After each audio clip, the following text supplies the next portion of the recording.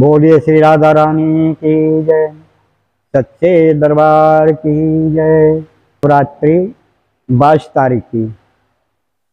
इसका महत्व क्या होता है? इसका महत्व यह होता है, शुद्ध शरीर के लिए, मनोकामनाओं पूर्ण करने के लिए, शुद्ध भावना से आप इसकी पूजा, दुर्गे माता की पूजा की जाती है।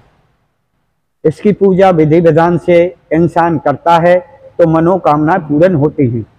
फल इसका यह होता है, अगर विधि विधान से पूजा करते हैं तो सभी मनोकामनाओं का पूर्ण करती है ये। पुत्रदायक भी है और मनोकामना पूरी है, उनके लिए भी है।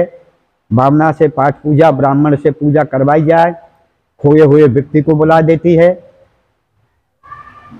अगर कहीं भटका हो, दूसरे विदेश विदेश चला गया हो तो श्रद्धा पूर्वक से ब्राह्मण से पाठ पूजा करवा के विधि विधान के साथ वो वापस आ सकता है।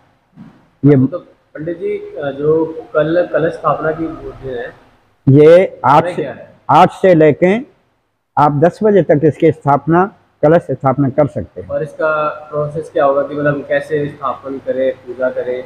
विधि विधि विधान। यह है इसका कलश रखा जाएगा उसमें थोड़ा सा मट्टी लेके गड़े में जो वो और दीपक जलाओ इसका ये विधि विधान है फूल माला पंचमेवा पान सुपारी ये माता के आगे अर्पण करो दान दक्षिणा करो उसके बाद में हाथ जोड़कर अपना पाठ पूजा करो।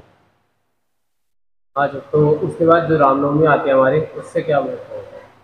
उसका ये होता है रामनवमी आती है संपूर्ण हो जाता है नौ दिन के बाद में ये फिर उसका उद्यापन करके कन्यान को जमाया जाता है ब्राह्मण को जमाया हवन करके इसकी पाठ पूजा विधि विधान से जब संपूर्ण होती है।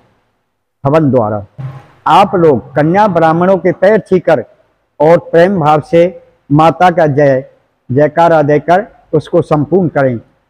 पहले पचास, जिस समय आप नवरात्रि शुरू करते हैं तो नौ दिन पृथ्वी पर सोना चाहिए।